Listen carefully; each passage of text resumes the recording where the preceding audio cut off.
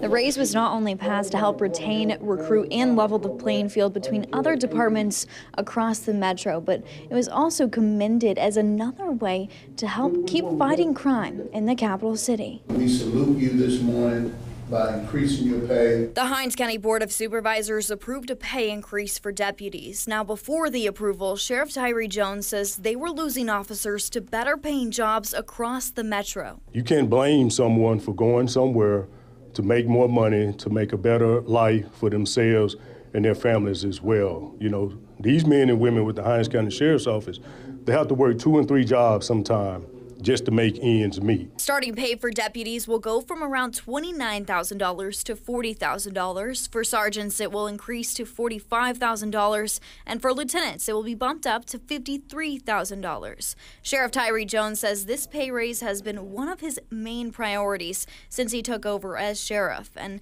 as inflation and the cost of living continues to rise, Jones says this was long overdue.